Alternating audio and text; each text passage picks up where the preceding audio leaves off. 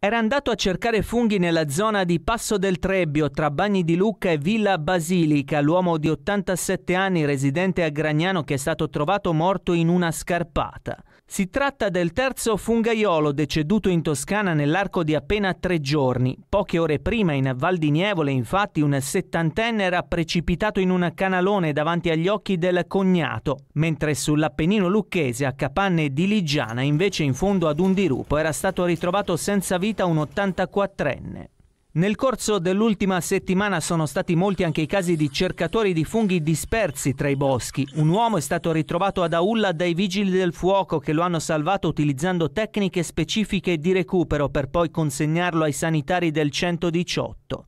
Vicino a Bagni di Lucca invece due fungaioli sono stati ritrovati in un casolare abbandonato dopo ore di ricerche, un fenomeno allarmante visto il numero dei casi anche gravi che sta crescendo ogni giorno, in particolare tra i più anziani.